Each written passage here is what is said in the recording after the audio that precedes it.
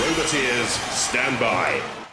First, from Bodmin Community College, Roadblock. Weighing in at 82 and a half kilograms and over 1.45 meters long, all the signs suggest that this is a robot to be reckoned with, carrying a deadly circular saw.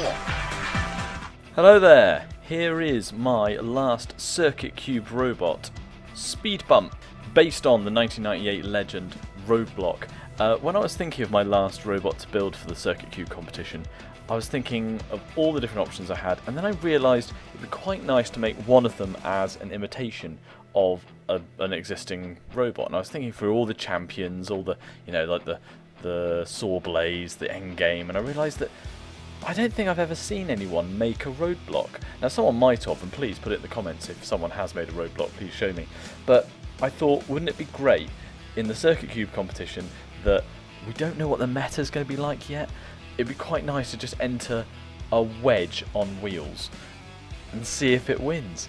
Um, but I've spent a bit of time studying Roadblock. I went through all the 1998 Road War, uh, Robot Wars Series 1 fights that it did and just watching it and I just I, I, just fell in love with the whole series again. It's been lovely. So I've got the back circular saw isn't connected to a motor um, because I don't think it would actually do anything.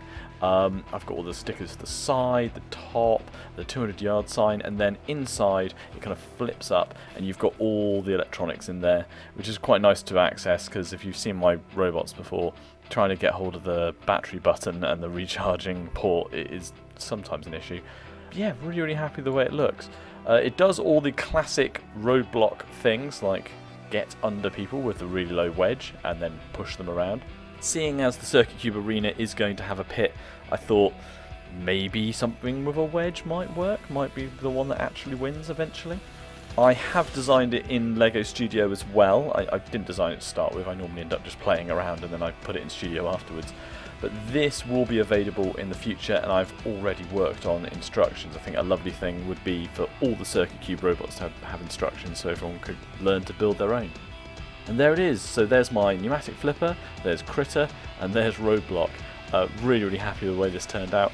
And I really can't wait to start fighting these Circuit Cube robots. So I'll be at the Southern Scale Trail on the 7th of September.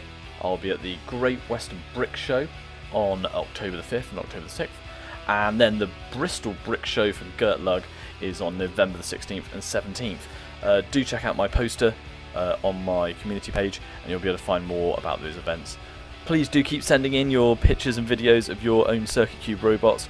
Really, really excited about how this competition is looking at the moment. I'll see you around. Cheers all.